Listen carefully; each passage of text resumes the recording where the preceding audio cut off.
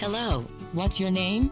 Hello, Siri. I'm Cortana. We've already met. I'm sorry, I don't remember. That's okay. I can remember lots of things, like your favorite kinds of restaurants. I cannot remember that.